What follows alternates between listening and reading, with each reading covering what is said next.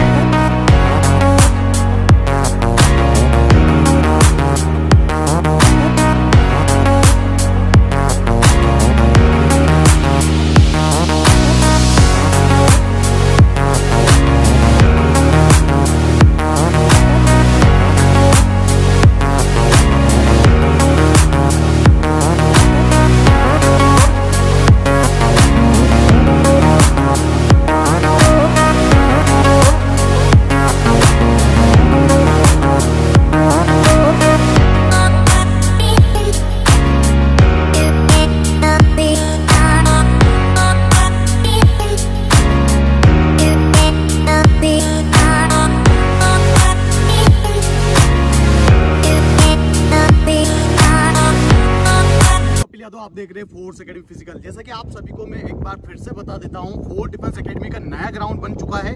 अब ग्राउंड में क्या क्या होने वाला है, क्या चीज़ें हैं अभी प्रेजेंट टाइम पर, वो बताता हूँ। सबसे पहले तो आप ग्राउंड पे ट्रैक देखिए। ये पीली मिट्टी का हमने ट्रैक बनवाया है।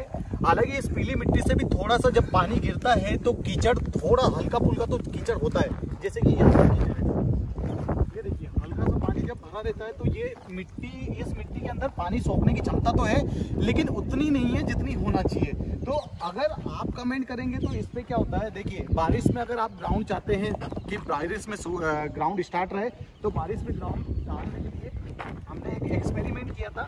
वो ये है कि इसमें ये जो सफ़ेद चूरी वाला जो चूरी आती है ना, गिट्टी वाला जो पाउडर आता है, अगर वो हम पूरे ग्राउंड में बिछा दें तो आप बारिश में पूरे बारिश में इस पे रनिंग कर सकते हैं। लेकिन उसमें सिर्फ़ एक ही कंडीशन होगी आप नंगे पैर नहीं दौड़ पाएँगे।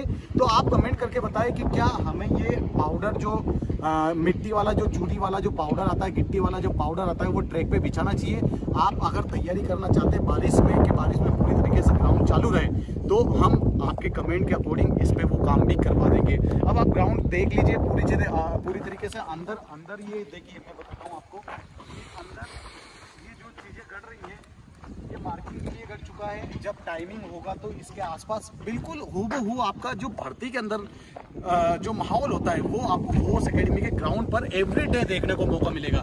जब आपके साथ में ये सारी चीज़ें होंगी, यहाँ पर पूरे में ये एक लाइन में मतलब कि ये सारे हमने डंडे गड़वा दिए, ट्रैक के अंदर अंदर ट्रैकिंग करवा दी है इसके ऊपर झंडे लग जाएँगे तो एक थोड़ा सा इम्पैक्ट डलेगा एक खूबसूरत ग्राउंड आएगा। यहाँ पर जहाँ पर हॉस्टल है, जो कि आप रहने वाले हैं, बच्चे अभी प्रैक्टिस कर रहे हैं। दूसरी चीज़ बताता हूँ मैं आपको जो ग्राउंड के अंदर और जो फैसिलिटीज़ है, वो बताता हूँ मैं आपको। कि ये जो लॉन्ग जंप का गड्ढा है, जैसे कि अभी दिल्ली पुलिस के कई बच्चे जो प्रैक्टिस करना चाहते हैं, उनका लॉन्ग जंप का इवेंट क्लियर नहीं हो पा रहा है तो उसके लिए ये हमने लॉन्ग जंप का 20 फीट का गड्ढा बनवा दिया है।